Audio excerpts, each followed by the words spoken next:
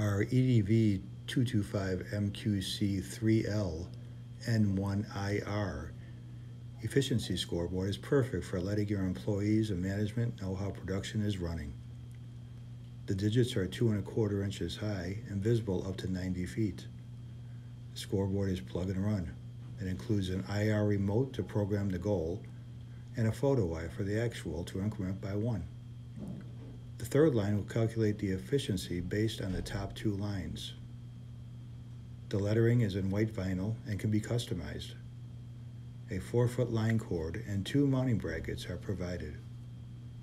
The dimensions are 23 and a half inches long by 16 inches high by 3 inches deep.